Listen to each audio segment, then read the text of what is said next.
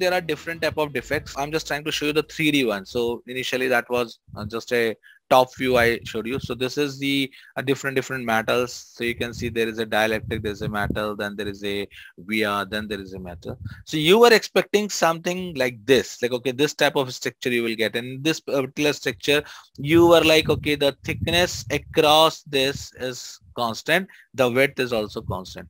But the actual, if if I will tell you, frankly, something you will get something like this and this is this is still a very very good picture.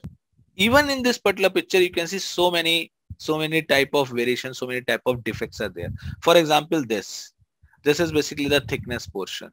So here we were expecting something like this. That's going to be the constant across uh, the width here we are saying like okay no the thickness has vary somewhere it is the 100% like in a t here the less than t here again the less than t. So that means we are talking about like okay when we are doing the fabrication at that particular time there is a thickness variation.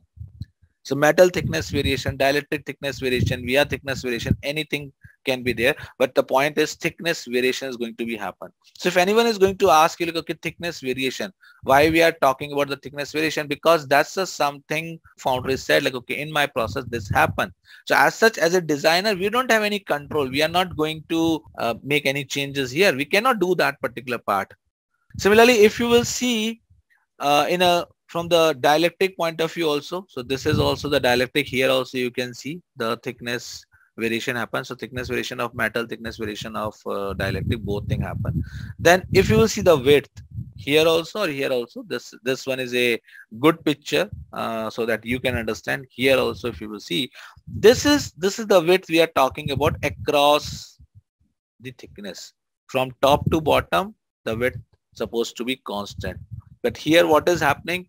At the top, uh, at the bottom, your width is uh, is on a large in size and then the uh, bottom your width is small in size. Small in the sense the typical one with respect to the typical or the the dimension which you have uh, came up like that should be the width. With respect to that there is a variation in the width and that variation in the width is across the thickness. So that means now you can see there is a width variation also. Now if the width is going to vary then there is a space variation also. So you can see here the space is less, here the space is more. So when you are going to calculate the capacitance between this wire and this wire, then we usually consider uh, the coupling cap. We say like, okay, epsilon A by D and that D we say like, okay, this is a space. But what happened? And, and we usually talk about the parallel plate. But here you will see these are not the parallel plates parallel plates across the plate the space or the distance is going to be constant. But in this particular example what is happening? Your space is changing. At this particular place is spacing something else. At this particular place is spacing something else. And now if i will ask like okay you have to calculate you have to tell me like okay what is going to be the capacitance then you will say like okay c equals to epsilon a by d. That's formula is not going to help me a lot now. So in this particular formula c equals to epsilon a or maybe you can say the thickness by S, this is not going to, we cannot apply this particular formula straightforward. Even if I will consider like, okay, the thickness uh, that this particular area which I'm just talking about this, this is constant. Even in that particular case, I cannot say like, okay, the S is going to be the constant. Then you will say like, okay, what I'm going to do, I will just make it as a DC and the DS, like delta C and the delta S. That means I'm going to take, I'm going to calculate the capacitance in a very small portion. I will say like, okay, this is the parallel plate. This is the capacitance. And for this, the space is basically the S.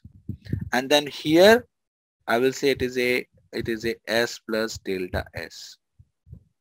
So if you remember in the first semester of engineering or in the even the 12th, 11th, we, we were doing similar kind of thing like okay dc epsilon t by uh, ds and then we are going to integrate it.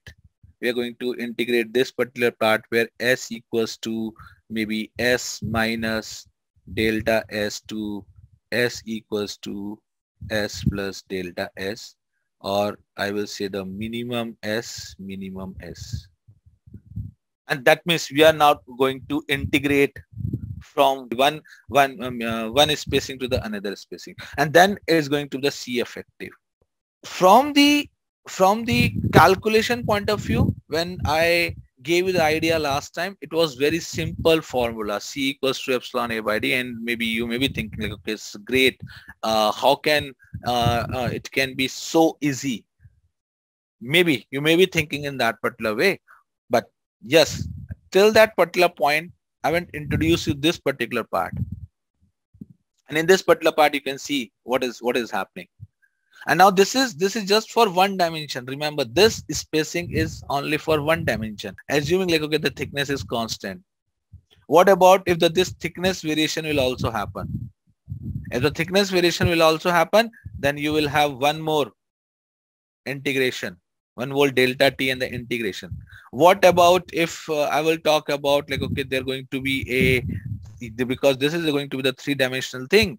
So right now at this particular point this is a s. What about across the length? Because this is the length of the wire. Across the length things are going to change then you will say like okay across the length also i have to apply the similar kind of delta l related thing. Like okay in a per unit length we are talking about but in a per unit length also we have to see like what are the, what are those changes are there. So now you can see your your c is going to change as per the effects as per the defects which uh, which are there. And it the formula the c the calculation of c is going to be complex. And from the from the design point of view, from the calculation point of view, we have to we have to check this particular part. We have to make sure like okay, my chip should work in all the worst case scenario. Even if both the if the spacing is very close, whether whether the spacing is uh, less than the whole spacing, it should uh, or it is greater than the whole spacing. Now these two type of defects we will discuss little bit in detail because uh, in an interview sometime people ask